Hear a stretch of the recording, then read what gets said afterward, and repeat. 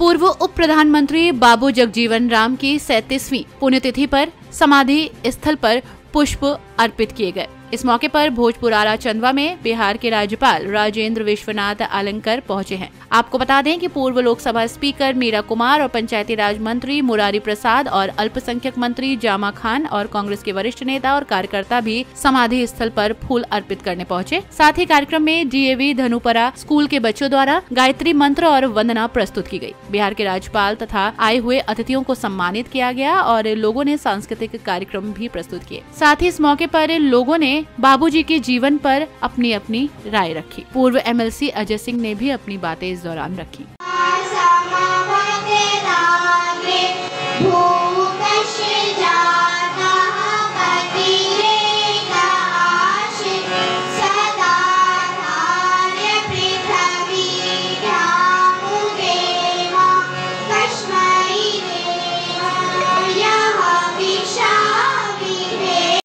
राम जी का आज पुण्यतिथि हम लोग ने मनाया।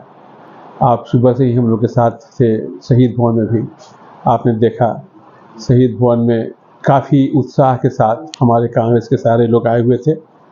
बाबू जगजीवन राम इस धरती के लाल तो थे ही साथ साथ पूरे भारत ही नहीं, बल्कि राष्ट्रव्यापी दलितों के नेता थे। उतना बड़ा दलितों का नेता मेरे समझ से वो अंबेडकर जैसे भी आगे थे कई मायने में। और हम लोगों के भोजपुर जिला के नाम को उन्हें रोशन किया और हमारे आप देखा चंदवा गाँव के रहने वाले हैं।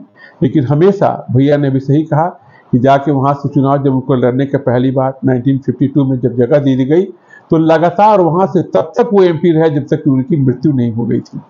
तो इससे हम लोग महान नेता को और ख़ास करके भोजपुर के लोग, उन पर गर्व और हम लोग अपने आप को गर्वान्वित महसूस करते हैं और उनको हृदय से पुनः श्रद्धांजलि अर्पित करते हैं। कर्नाटक में कांग्रेस की जीत जी। उसके बाद बिहार में विपक्षी एकता की बैठक जी। और उसके बाद आने वाले विधानसभा जो चुनाव है अन्य राज्यों में उसको किस तरह से कांग्रेस अब कांग्रेस की बारी आ गई है अब हर जगह कांग्रेस आएगी। आपको स्मरण होगा कि मध्य प्रदेश में भी कांग्रेस की सरकार थी जिसको तोड़ के बीजेपी एक एक क्रिमिनल को वहाँ मुख्यमंत्री बना के चला रहे हैं। गोवा में भी कांग्रेस की सरकार थी उसको भी तोड़ के पैसे के बदौलत बीजेपी ने वहाँ पर अपनी भाजपाई सरकार चला रही है। इसके बाद हम लोग हिमाचल प्रदेश जीते, हम लोग कर्नाटक जीते और फिर हम लोग जीतने वाले हैं राजस्थान, मध्य प्रदेश, छत्तीसगढ़, सारे के सारे जगहों पर हम जीतेंगे।